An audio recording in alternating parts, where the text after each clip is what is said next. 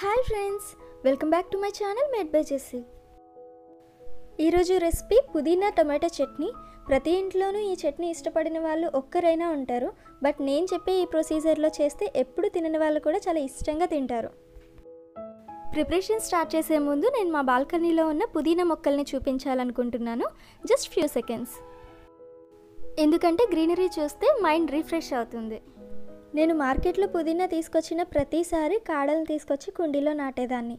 అది కొంచెం లేట్గా గ్రో అయ్యేది అండ్ జస్ట్ వన్ టూ మంత్స్లోనే నాకు చెప్పకుండానే వెళ్ళిపోయేది. బట్ ఇది నేను సిక్స్ మంత్స్ బ్యాక్ మా మావయ్య ఇంటి దగ్గర నుంచి తీసుకొచ్చాను. అదేంటో మ్యాజిక్ లాగా ఎన్నిసార్లు కట్ చేసినా ఇంకా ఇంకా గ్రో అవుతూనే ఉంది. దీనిని జీర్ణశక్తికి దగ్గు జలుబు లాంటి వాటికే కాదు మౌత్ ఫ్రెషనర్గా కూడా యూస్ చేస్తారు. రోజు మార్నింగ్ ఎంటీ స్టమక్తో కషాయం తాగే అలవాటు మీకుంటే దానిలో పుదీనా ఆకుల్ని కూడా యాడ్ చేసుకోండి. ఇది నేను కట్ చేసిన పుదీనా. దీని ఆకుల్ని మాత్రమే తీసి శుభ్రంగా కడిగి పెట్టుకోవాలి. ఫిఫ్టీన్ మినిట్స్ అయినా నానబెట్టి కడిగితే ఇంకా మంచిది.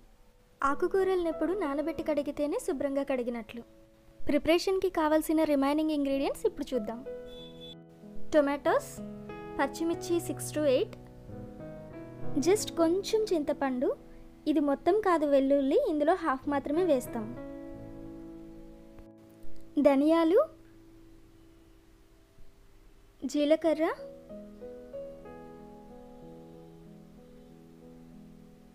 పల్లీలు ఇంకా నువ్వులు.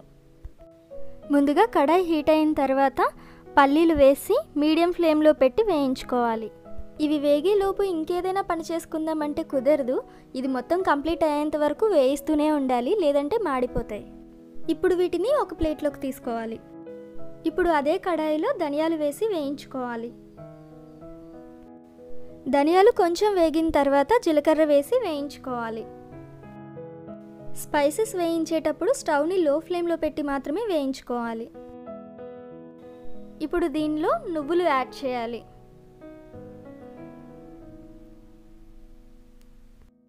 నువ్వులు త్వరగా వేగిపోతాయి. ఇవి వేగాల్సిన అవసరం లేదు. జస్ట్ హీట్ అయితే సరిపోతుంది. ఇలా. ఇప్పుడు వీటిని పక్కన పెట్టుకొని చల్లార్చుకోవాలి. అదే కడాయిలో ఇప్పుడు కొంచెం ఆయిల్ వేసి హీట్ అవ్వనివ్వాలి.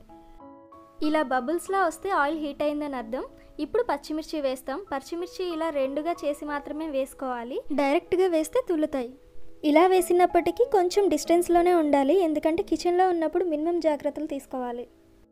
ఇప్పుడు పచ్చిమిర్చి ఇలా వేగిన తర్వాత టొమాటోస్ వేసుకోవాలి.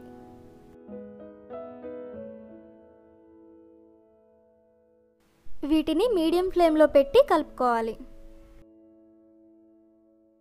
ఇప్పుడు మూత పెట్టి ఒక టెన్ మినిట్స్ వరకు దీన్ని కుక్ చేయాలి.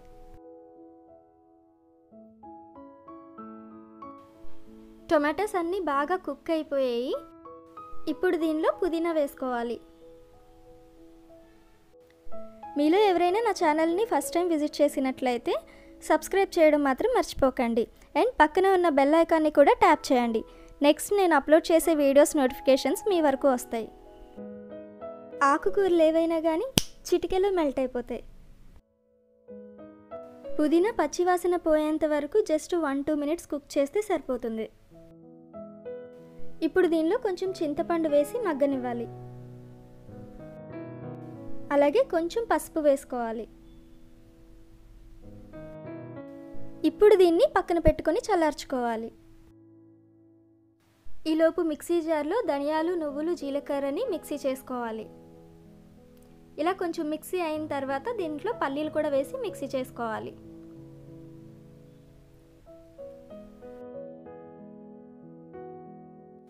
ఇప్పుడు దీనిలో పూర్తిగా చల్లారిన పుదీనా టొమాటో మిక్స్చర్ని వేసుకోవాలి.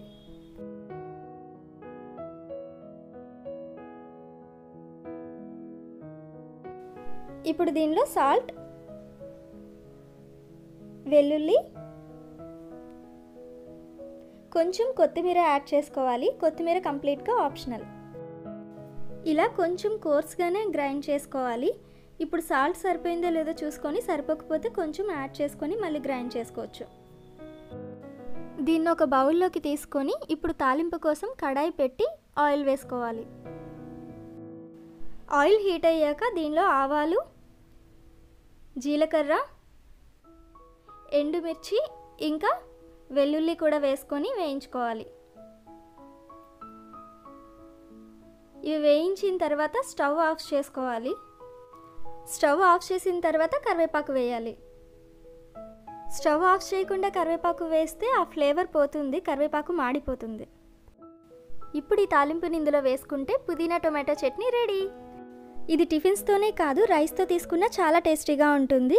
మీరు కూడా ఈ పుదీనా టొమాటో చట్నీని ట్రై చేసి మీ ఎక్స్పీరియన్స్ని నాతో కామెంట్ సెక్షన్లో షేర్ చేసుకోండి.